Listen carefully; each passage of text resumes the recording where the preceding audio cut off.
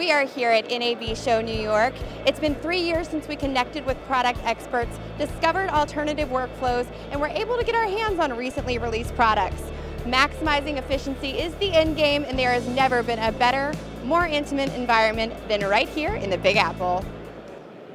Ashley with InBroadcast. Joining me is Jeff of Witbe. Hello. Hello, how are you? I'm good, thank you. Jeff, can you tell me a little bit about Witbe's position in the media and broadcasting industry? Sure. So we provide um, visibility at the edge with one of our devices for um, uh, MVPDs, programmers, streaming services that want to know uh, what's the what do the customers see at the edge, whether it's a smart TV, a mobile device, a set-top box, an OTT device. Um, so we're you know we're giving them that visibility at the edge uh, manually, and then we can also do automation and provide them with very usable metrics of um, uh, issues that might cause maybe not the best customer experience. Sure. And what are you currently highlighting or what's new over here in development?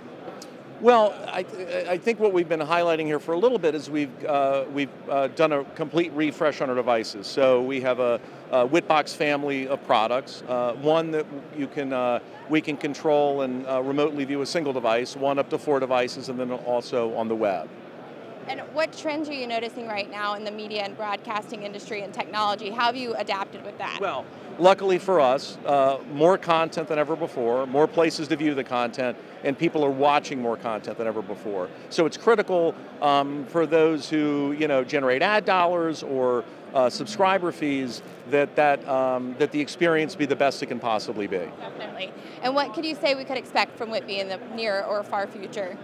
Well, we're already measuring uh, smart TVs, which, uh, if you look at the uh, CE space, uh, you know, customers are or viewers are definitely, um, you know, migrating over to uh, viewing content on, you know, different uh, smart TV devices, and we can measure that also. Very good. Well, it was a pleasure speaking with you today. Thank nice you so much. You Thank you very Thank much. you.